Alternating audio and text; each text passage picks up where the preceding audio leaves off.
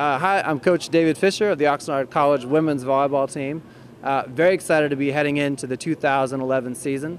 Uh, we've got eight or nine players. We're not going to be the tallest team in the league. I don't think Oxnard's ever been the tallest team in the league.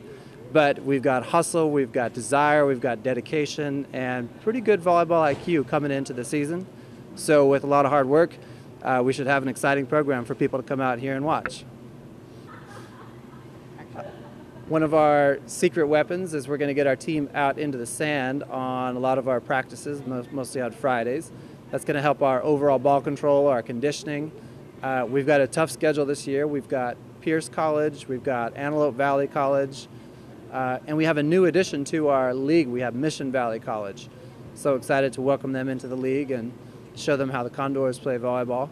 Uh, and I'm going to bring in a minute up a couple of our returning players. We have Melanie Munoz, outside hitter. We have Brooke Reed, who plays opposite and outside and middle. And we're going to be looking to them for leadership coming into this year as our returning players. And uh, that's it. Hope to see you out there at our games. Oh, my name is Melanie Munoz from Oxnard volleyball team, college volleyball team, and I play outside hitter. What's your feeling about the season?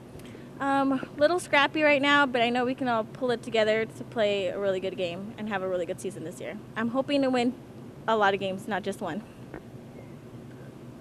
My name is Brooke Reed, and I play a little bit of everything outside, middle, sometimes opposite.